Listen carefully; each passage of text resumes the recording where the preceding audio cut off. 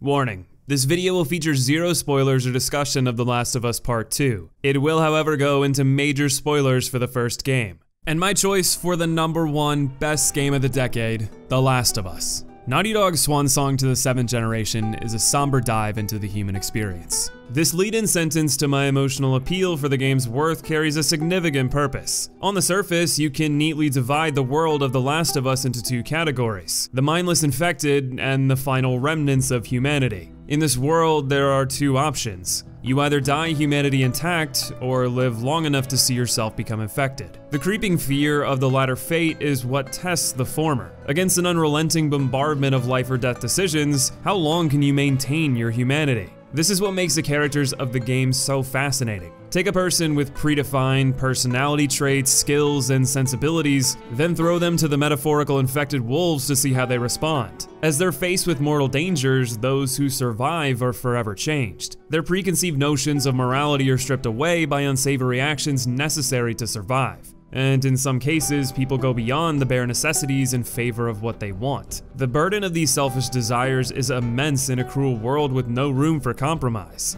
These decisions reveal the true natures of The Last of Us. Today, I'd like to take a look into these personal truths for the main protagonists, Joel and Ellie. I'll define their baseline qualities, how these traits are shaped by their journey, what their actions throughout say about their character, and use these elements to understand the nature of their relationship built through their grim adventure.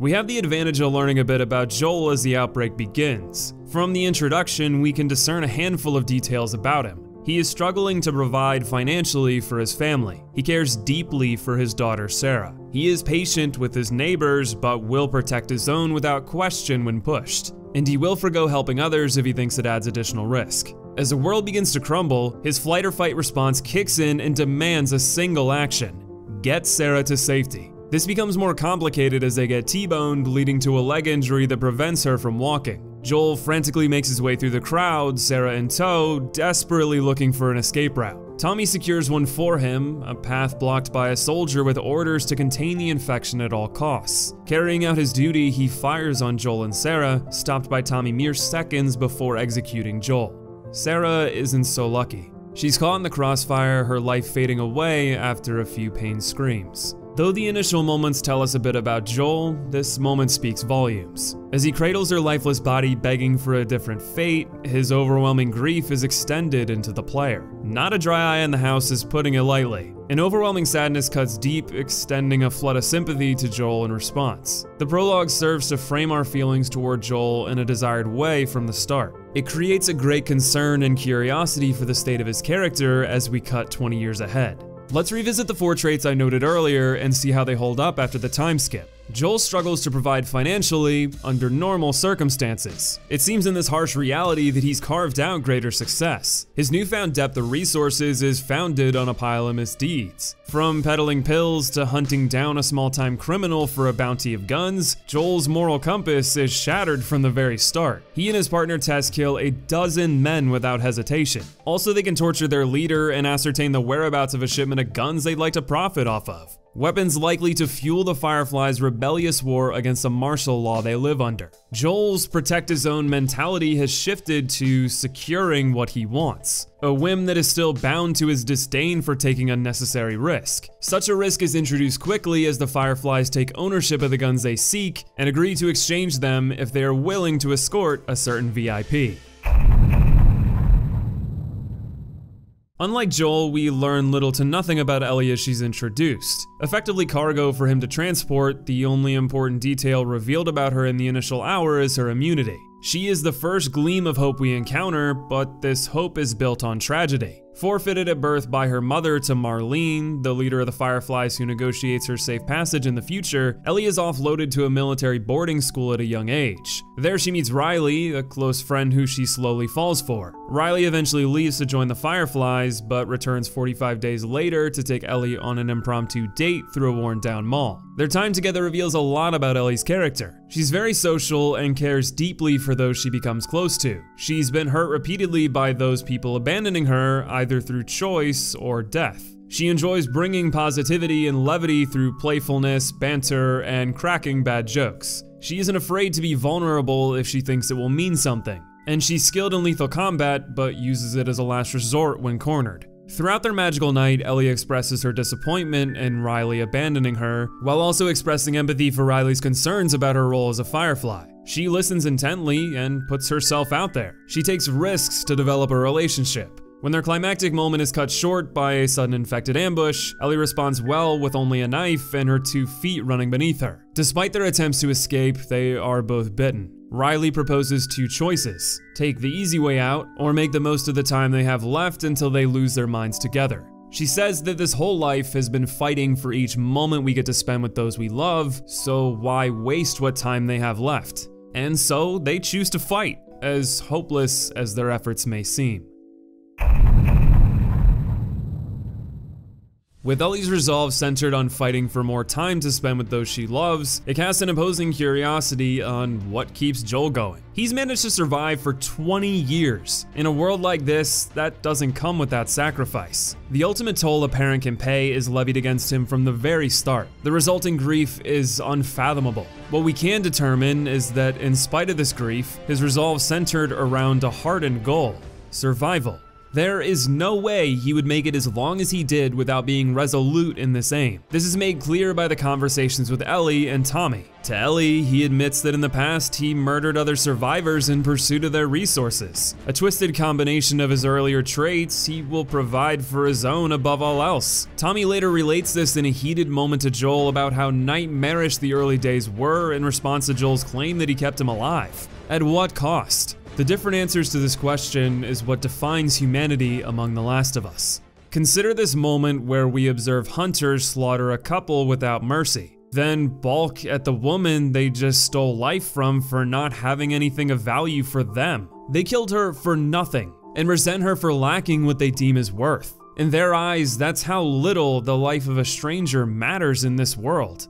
Joel is no different. If you're unwilling to believe his past actions were similar, consider the events in Boston. Tess comes home from a deal with ration cards worth months of supplies. Instead of accepting this boon as enough, they immediately set out to claim their bounty of guns from Robert. They mercilessly slaughter his men in that pursuit, even though they gave them equal opportunity to leave. I understand Robert intercepted this bounty that was intended for them, but they choose in a state of relative comfort to snuff out lives for more. This hunt that feels uncomfortably routine proves fruitless, as Robert sold the guns to the Fireflies. This is the catalyst for their trade. Marlene agrees to give them the weapons in exchange for transporting Ellie to the Boston Capitol. Forgive me for the lengthy exposition, but it illustrates a necessary point. Joel is a morally bankrupt monster that will stop at nothing to survive at his standard of comfort. This is his starting point as he meets Ellie, an escort mission he takes on only for personal gain. As you see him interact with someone other than Tess, you quickly see how emotionally constipated he is. He treats Ellie as incompetent baggage not worthy of trust, especially when he finds out she's infected and allegedly immune. A dynamic that becomes dramatically more complicated once the escort drop off is compromised, a realization that forces Tess to reveal she was bitten on the trip.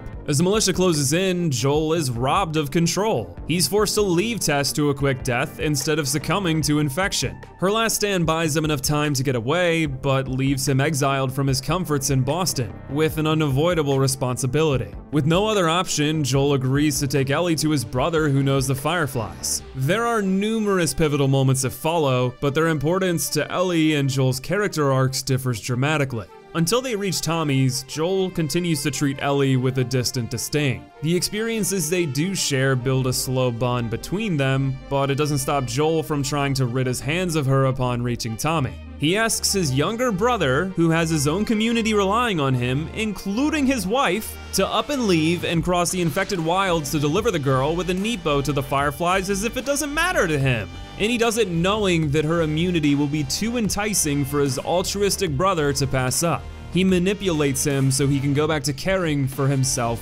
only.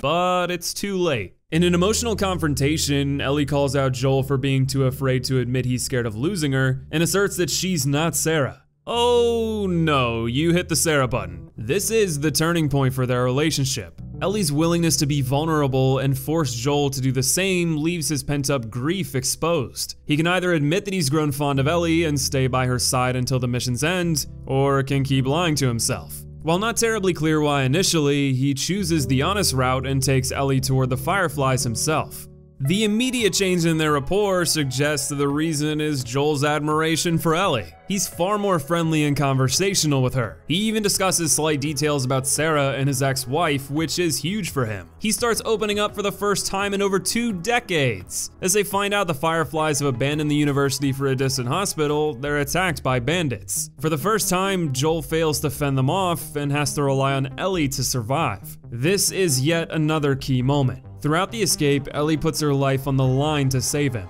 He sees death flash before him on multiple occasions before Ellie swoops in. And as he falls severely ill from his injury, Ellie continues this pattern. She fights through a mall for medical supplies to suture the wounds, she hunts for food to sustain them, she bargains with imposing strangers for antibiotics, ultimately resulting in her capture. You know what Joel loves more than anything? His survival. If there was any doubt about his adoration for Ellie, it's solidified by this experience. This is made abundantly clear when he wakes up to find her missing and carves a merciless path of blood to reach her. At first, the bandits are trying to kill him, but he eventually pursues them like a bloodthirsty madman as they run away. He tortures two of them with an ice cold demeanor like it's a leisurely stroll through their waking nightmares. He fights his way to Ellie, and he finds her alive. He embraces her with the soothing words, baby girl, a term of endearment previously reserved for Sarah. Despite this attempt at comfort, Ellie's spirit begins to crack.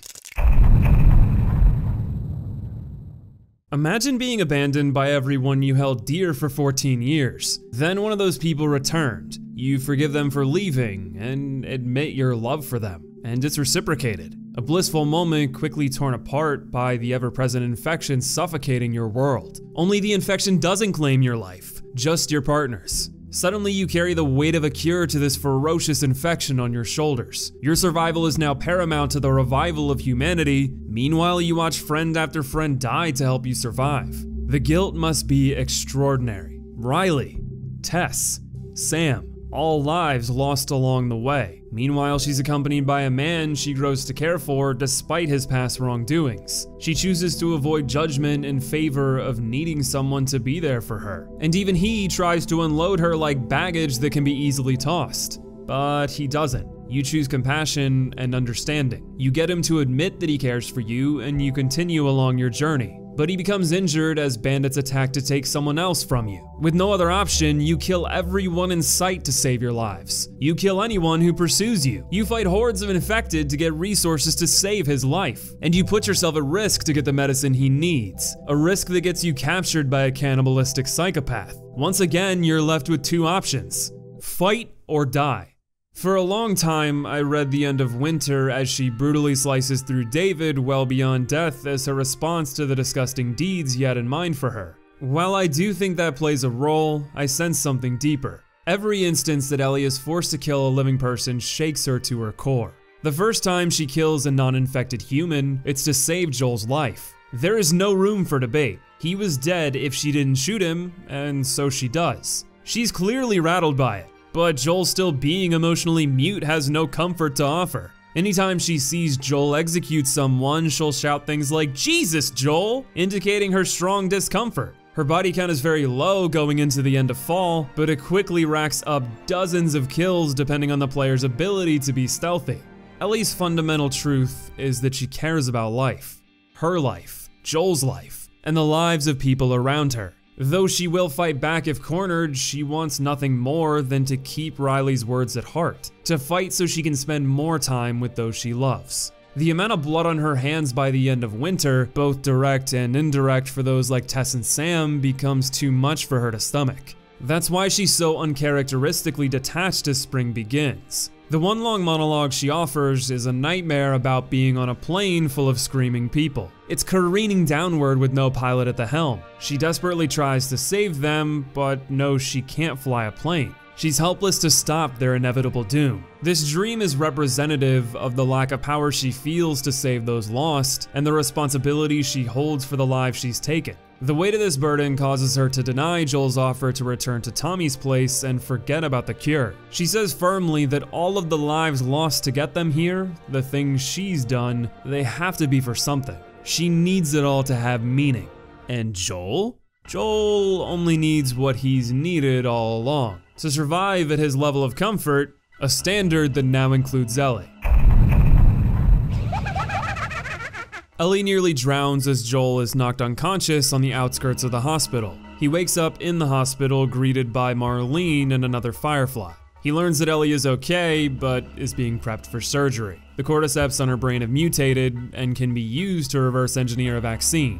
An end to this infected nightmare. But as Joel is fully aware, the fungus can't be removed without killing the host. Despite being told to leave or die, Joel chooses option 3. Shoot Firefly Grunt in his manhood and demand to know where Ellie is. He tells him, and it's up to the player how you get there. Be stealthy or massacre your way to the operating room. I promise you, Joel doesn't care as long as he makes it in time. When you arrive, a surgeon tries to stop you. Fat chance, buddy. The player is even given the option to make sure the other two don't interfere by putting them down. What do you think Joel would choose? At this point, he fully seizes control from the Fireflies, from a player who might not agree with his actions, and from Ellie. The last line of defense is Marlene, who proposes he knows Ellie would be willing to give up her life for a world without infection. No more lives lost. She even offers him an out, a get out of Firefly territory free card. Just leave the girl. His response?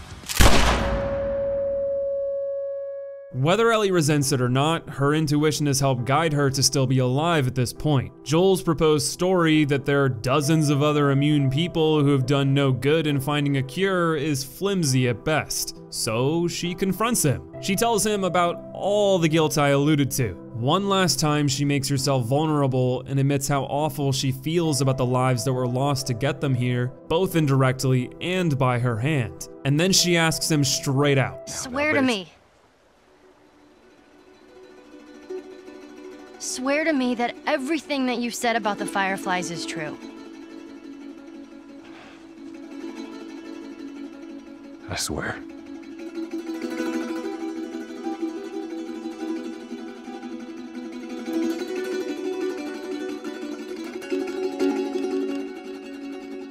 Okay? Watching Joel squirm in response to Ellie's guilt over those lost words as he grabs the watch Sarah gave him and says, I struggled for a long time with surviving. You keep finding something to fight for. confirms everything we, and likely she, already know. Joel prioritizes self preservation above all else. That is, until someone else becomes as important to his standard of living as himself. His selfish motivations claim countless lives at the hospital and an unimaginable toll of a world without a cure. He is a monster from start to finish.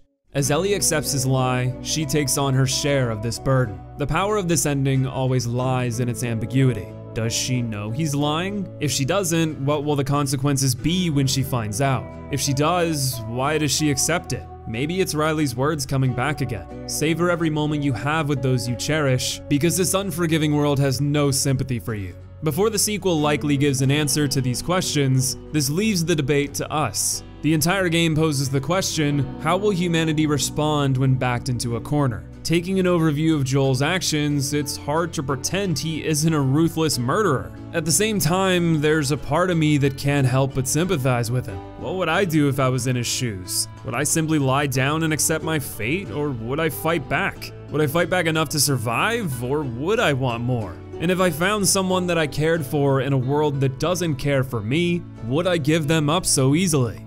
How about you? For me, there's no easily reconciled answer. I can't have my cake and eat it too. I would want to protect my life and those I care about without bringing harm to others. But as is well illustrated across their grim adventure, this world doesn't offer that luxury. That's what continues to make the characters and narrative of this game so compelling. This conundrum makes me empathize so much with Ellie's struggle, but I can't fathom the burden of carrying the future of humanity on my shoulders. And while Joel may be a monster, his desires, even the negative ones, are relatable to the root of emotions we all experience. We are Ellie, and we are Joel. We are Riley, Tess, Marlene, Bill, Henry, and Sam. They are The Last of Us.